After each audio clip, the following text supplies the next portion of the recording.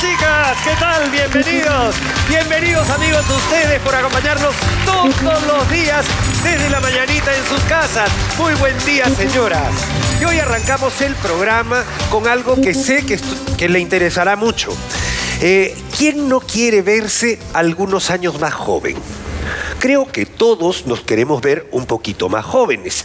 Por eso le propongo algo. Tome en este instante lápiz y papel porque ahora le traemos el mejor plan para una eterna juventud. Lo han buscado siempre durante la historia. Y para eso hoy nos acompaña nuestra buena amiga Vivian Geller, nutricionista. Hola Vivian, ¿cómo estás? Hola, ¿cómo te va? Bienvenida. ¿Qué tal? El plan de la eterna juventud, imagínate tú. ¿Cómo te va?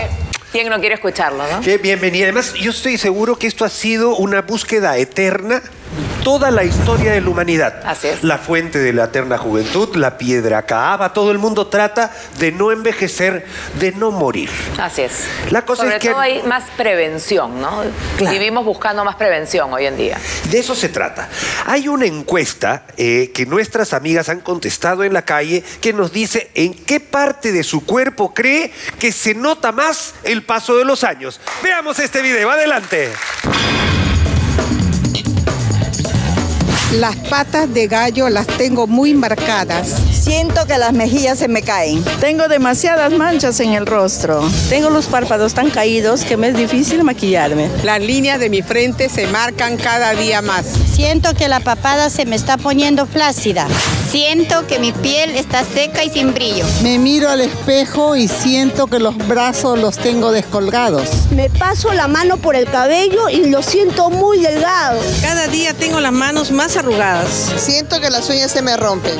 Siento que la barriga me cuelga. Siento que el escote se me arruga.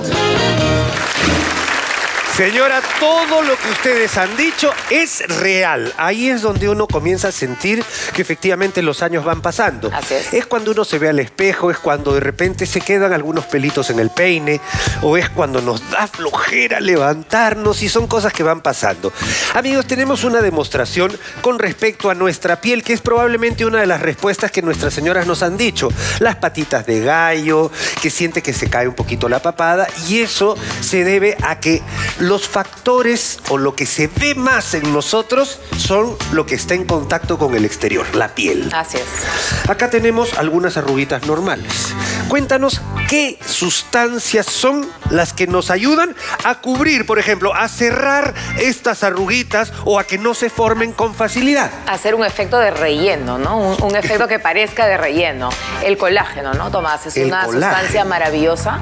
Ajá. El retinol, que es la forma eh, animal de la vitamina A, también es otra gran ayuda, ¿no? Y la idea es que se pueda hacer esto, Así es.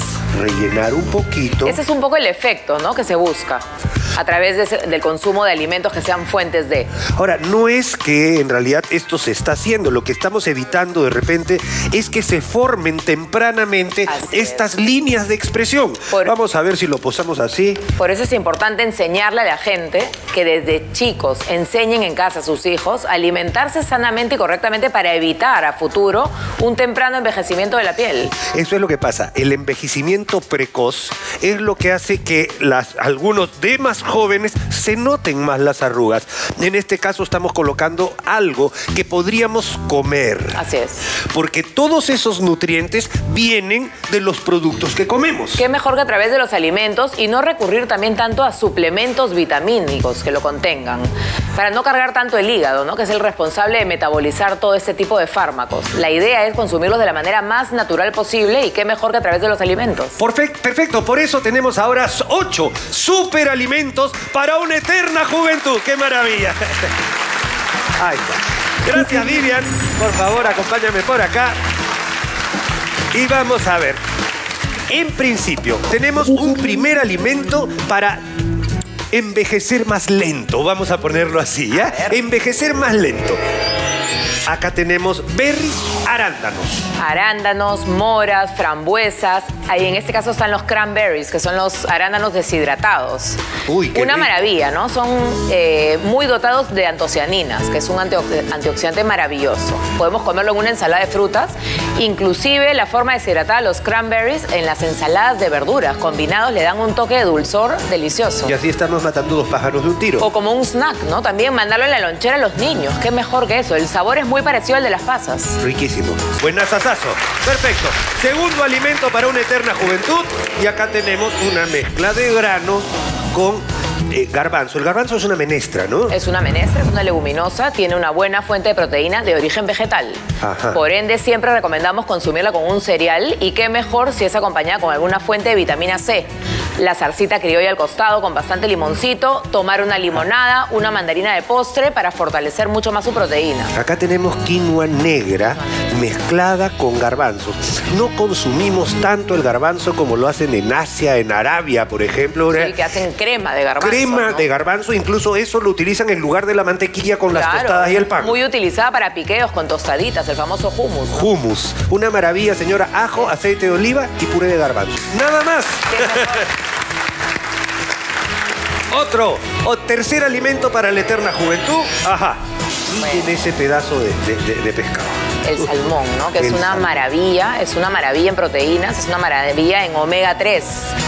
Mucha gente le tiene un poco de recelo por lo que es un pescado con alto contenido de grasa, pero es grasa maravillosa que debemos de incluirlas en el día a día, sobre todo aquella persona que pueda tener colesterol elevado en sangre o triglicéridos elevados en sangre. A pesar de ser uno de los pescados más grasosos de la tierra, Así es. esa grasa que tiene este pescado es fabulosa. Es una maravilla. No sube el colesterol, al, Al contrario, contrario. lo combate. Así es. Perfecto.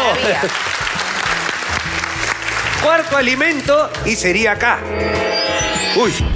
Aceite de oliva y palta, y estamos hablando de aceites de origen vegetal, Vegetal. pero que tienen una gran cantidad, incluso sachainchi podríamos Así es. poner acá, ¿no es cierto? Claro que sí.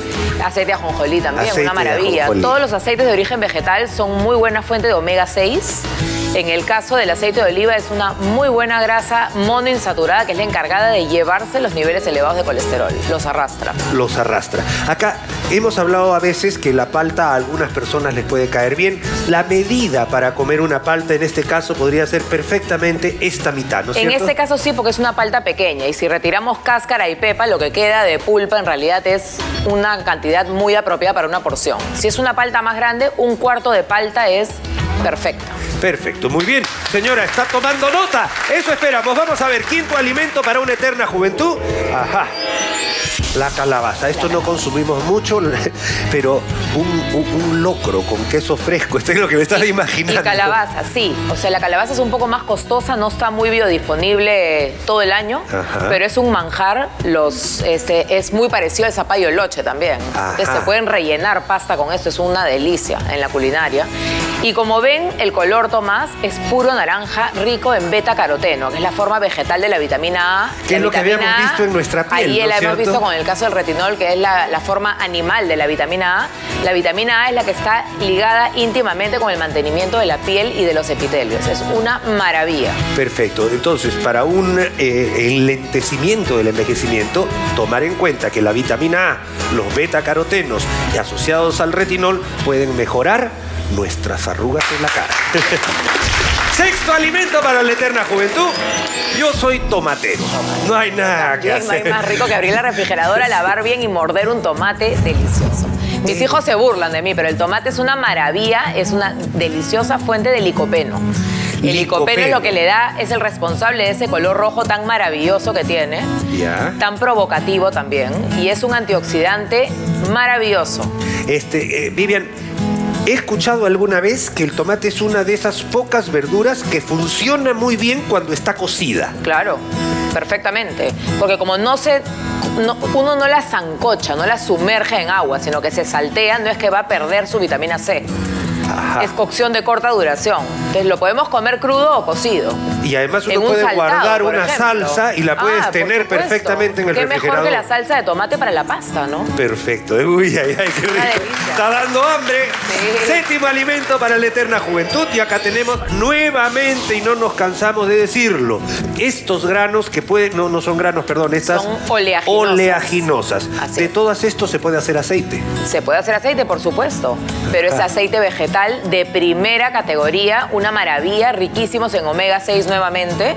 Todos tienen vitamina E, que son un antioxidante maravilloso. Y protector de las mucosas. Claro. Así como hay piel por fuera, hay una piel que nos cubre por dentro, que es esta es. piel. La vitamina E ideal para proteger Ideal. y regenerar. En el caso de las oleaginosas, te dotan de energía también, comiendo muy pocas. Hay que tener cuidado porque por su contenido de grasa también tiene un contenido calórico elevado.